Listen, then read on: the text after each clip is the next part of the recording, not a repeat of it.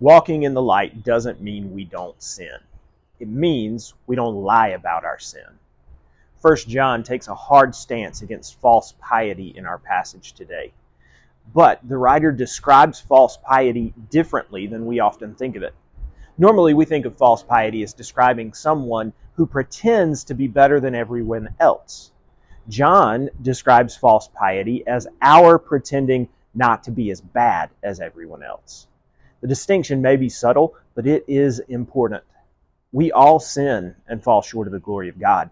This is a truth we know from Scripture and our own lived experience.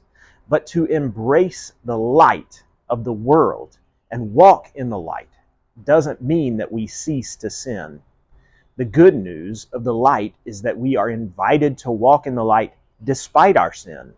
But that invitation requires our honest confession of our sin and so, if we stubbornly refuse to face up to it, confess it, and repent of our sin, we prove the word of life and light is not really in us.